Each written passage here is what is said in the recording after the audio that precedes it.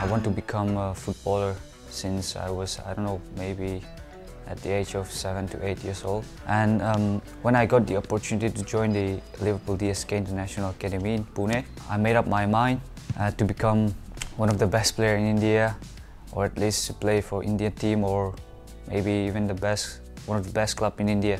When I look around my teammates in the academy, I knew I was one of the smallest kid, one of the thinnest kid, I don't have a muscle. I knew I had to work hard than everyone else and I knew I had to train when others were sleeping. I knew I had to go to the gym while others were enjoying themselves. And I think I did that and become who I am right now. Last season, we haven't had sufficient time um, in the preseason, but as the game went on, uh, we got to know each other better and gradually built a, strong unity uh, inside the team. Uh, for me, it was uh, the hard work everyone put in every single day, and we take one game at a time and play every single game like final, especially when we uh, are in a bad position.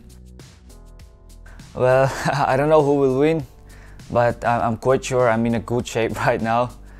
Um, but they will be a tough opponent for me also.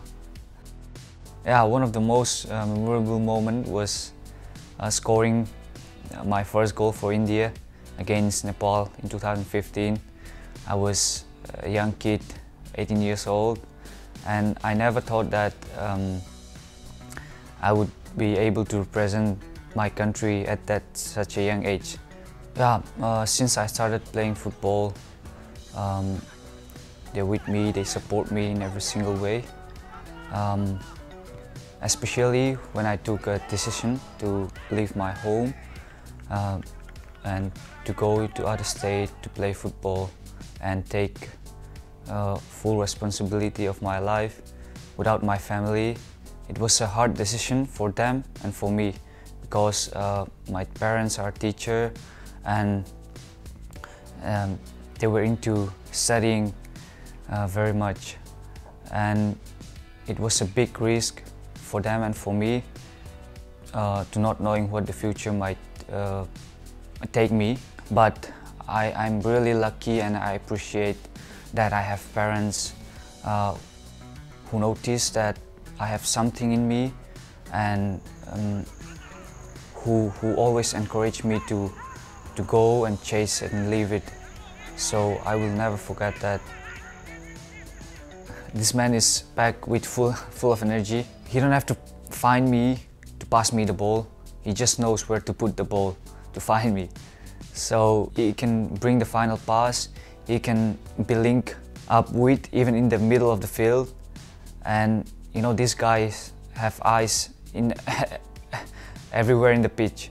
And when you have a guy uh, who you train with every day, and when you go to the national team, uh, it is much more easier to link up with. And I hope we will continue the, the good work. Yes, for me, my goal is to improve my stats every single season uh, and being consistent for many, many years and lifting multiple trophies collectively and individually. And let's see how far I can go.